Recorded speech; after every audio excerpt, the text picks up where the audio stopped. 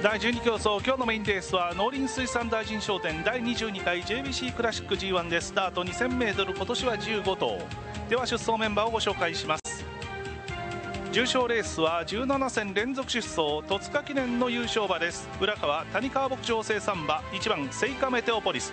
今日の馬体重526キロマイナス5本田正成57キロ。歴史を動かした男吉原宏斗を背に日の出のごとく高みを目指します。浦川浦川小林牧場生産馬2番サンライズハイヤー463キロマイナス8吉原宏斗57キロ。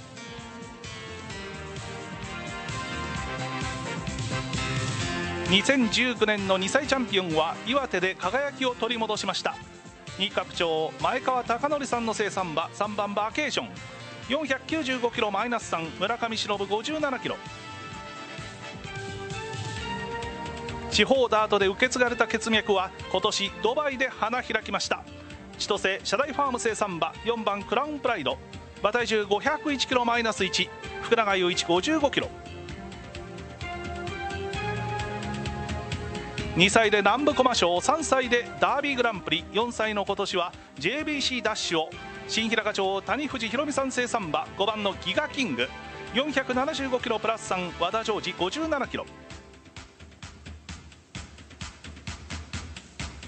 春秋 G1 制覇を目指して道の国飛来した高速の天燕浦河町三島牧場生産馬6番名称ハリオ。504キロプラス4キロ浜中卓57キロ。目の覚めるような末足で重賞2連勝。初歳馬はさらなる進化を遂げます。小祝決闘を今に伝える新平賀町千代田牧場生産馬。7番フィールドセンス。536キロマイナス1本橋幸太57キロ。菊花賞馬インター具志堅から数えて7頭目のタイトルホース伝統の高村牧場が送り出します。様似町高村新地産生産馬8番ペイシャエス496キロプラス5キロ菅原明55キロ。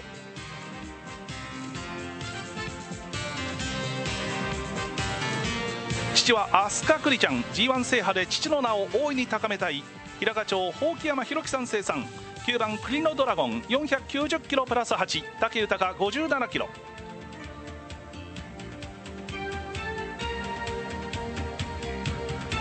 こう一点ボバと同じ条件からロングショットを放ちます。新平賀町平野牧場生産馬10番ジェネラルエリア477キロマイナス2松野正也55キロ。白金に輝く馬体には目白の歴史と魂が込められております。洞爺湖レイクビラファームの生産馬11番カフジオクタゴン537キロマイナス4キロ酒井流星55キロ。父は JBC 連覇のスマートファルコン。史上初のクラシック親子制覇を狙います。新平賀町明治牧場生産馬。12番オーベルニュ476キロプラス2川田優雅57キロ。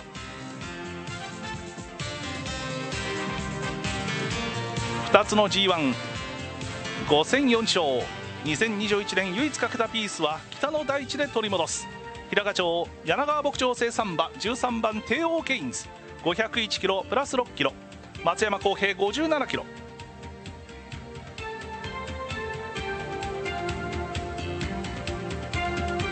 深まる秋の香りとともに勝利の美酒を新カプ町ベルモントファーム生産馬14番オン・ザ・ロックス。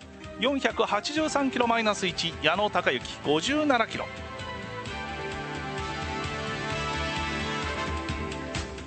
ディープインパクトに初の JBC タイトルをもたらすか。平賀町ダーレジャパンファーム生産馬15番ブルーエクセレンス。493キロプラス1山本昌俊57キロです。以上15度で行われます今年の JBC クラシック出走メンバーでした。